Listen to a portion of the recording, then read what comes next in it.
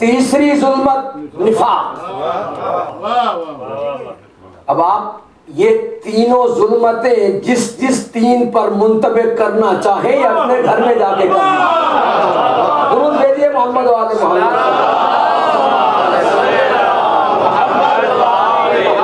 देखिए दोस्तों, एतकाद के हवाले से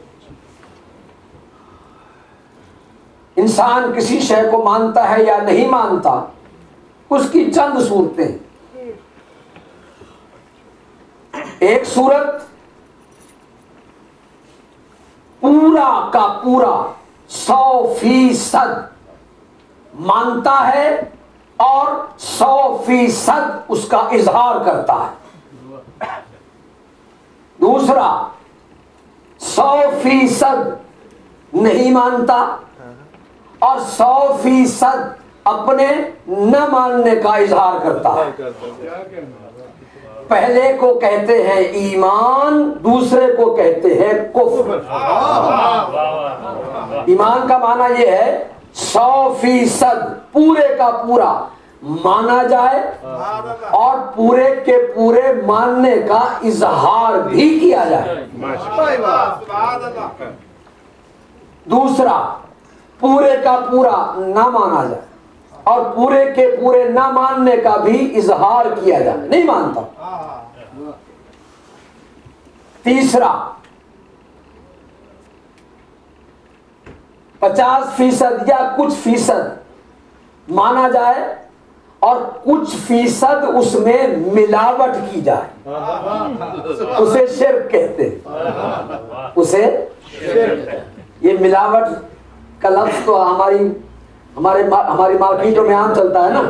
तो इसलिए मैंने शिरक को लफ्ज से मिलावट से तर्जमा कि कुछ माना जाए और कुछ उसमें मिलावट कर दी जाए। उसे कहते हैं शिरक। और एक चौथी सूरत यह है कि आप दिल से न माने और जबान से इजहार करें। उसे कहते हैं निफाक। और पांचवी सूरत क्या है? पांचवी सूरत यह है कि दिल से पूरे का पूरा मान लिया जाए मगर जबान से इजहार न किया जाए उसे कहते हैं तकिया। ये पाँच चीज़ें जरा नोट कर लीजिए मैं अगर तौफीक हुई और याद रहा तो कल पूछूँगा। सलवार पढ़िए मोहम्मद वाले।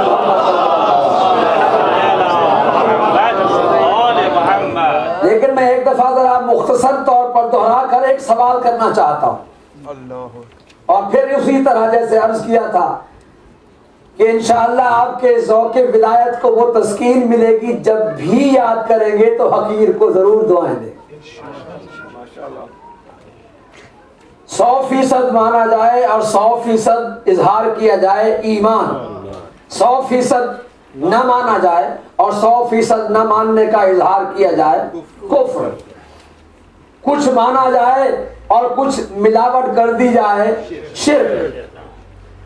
दिल से न माना जाए, जबान से कहा जाए निफाक।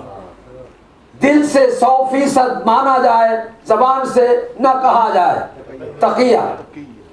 ये पाँच चीज़ें आपके सामने आ गई ना। अब एक सवाल करना चाहता हूँ, जहाँ जहाँ दूर तक मेरे हुसैनी भाई बैठे हैं और मेरी बहनें सुन रही हैं, बस एक सवाल है, और वो ये है, ये बताइए कि इन पाँच चीज़ों में से मानने और न मानने के हवाले से, इन पाँच चीज़ों में से हज़रत अबू तालिब अलैहिस्सलाम कौन सी शह पर थे?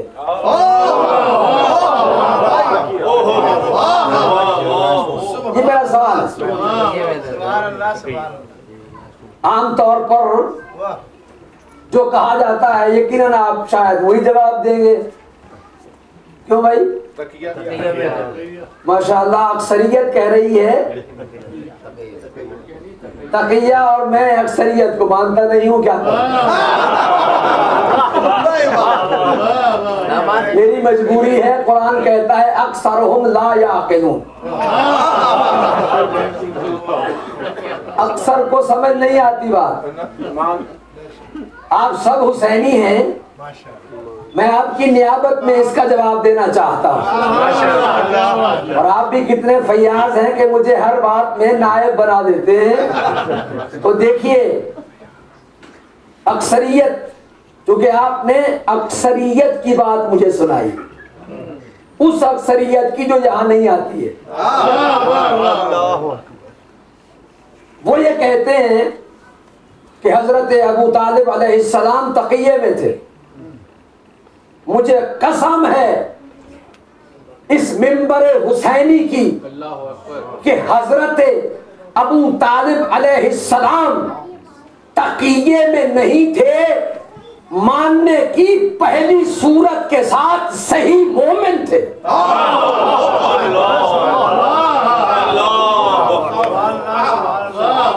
आप कहेंगे कि वो किस तरह अरे लोग कहते हैं कि उन्होंने अपने ईमान को छुपाया। मैं कहता हूँ, दोस्तों, ये बताओ कि जो रसूल आज़म का निकाह पढ़े, वो तकिए में होता है।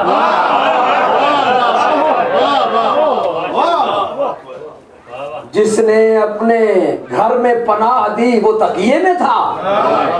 अरे जब उसके पास आए और कहने लगे "ऐ अबू तालिब, अपने भतीजे को रोको, ये हमारे खुदाओं को बुरा कहता है। ये नहीं कहा कि ये तेरे खुदा को बुरा कहता है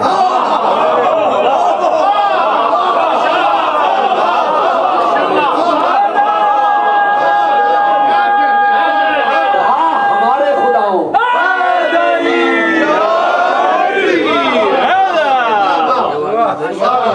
अरे काफिर और मुशरक भी जानते थे कि अबू तालिब का खुदा और है और हमारा खुदा और है।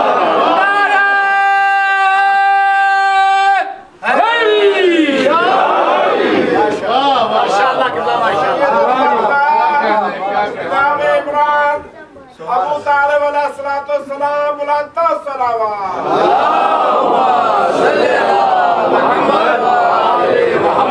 खुदा की कसम, मैं उस नबी को नहीं मानता जिसका निकाह कोई काफिर पढ़ता।